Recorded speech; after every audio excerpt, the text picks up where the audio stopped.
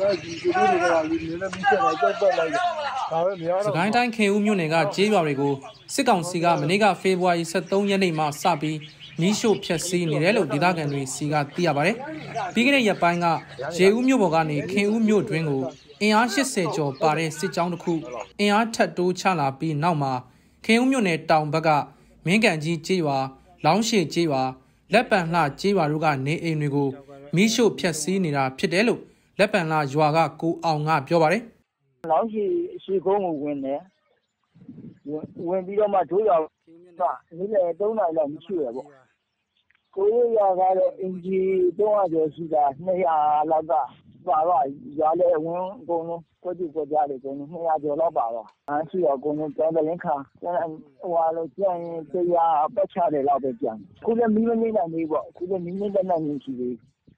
ဒီဟုံးဟုံးတောင်းလာပဲဟိုဝင်လို့လည်းဝင်တော့လေဒုံးပြရတာလမ်းလမ်းမလာလေဒီကိုတွေကလည်းပြိတ်ပြီးမီးတွေမီးတောင်ရင်နေနဲ့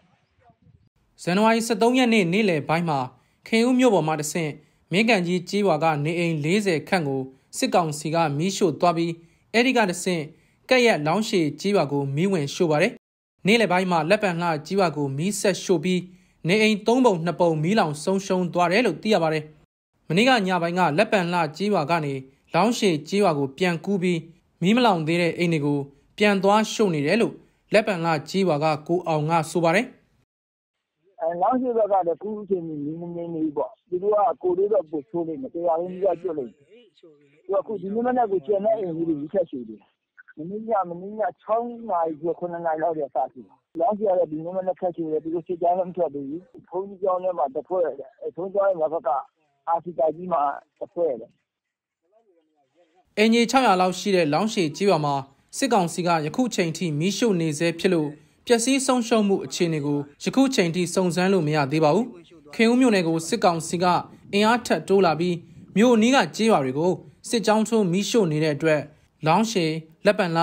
ရတန်းပန်းတွင်လက်ပံကြီးအုပ်စာတွင်စတဲ့ကြေးရွာတွေကအရက်သားပြည်သူ9000ခန့်ထွက်ပြေးတိမ်းရှောင်နေရတယ်လို့ ဒေသခံတော်လှန်ရေးအဖွဲ့တွေထံမှသိရပါတယ်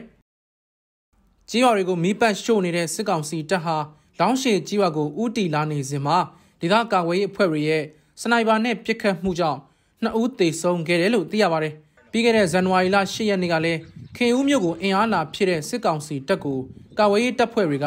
မိုင်းဆွဲတိုက်ခိုက်မှုကြောင့်အသေးဆုံးရှိခဲ့ပါသေးတယ်ခင်ဗျာ။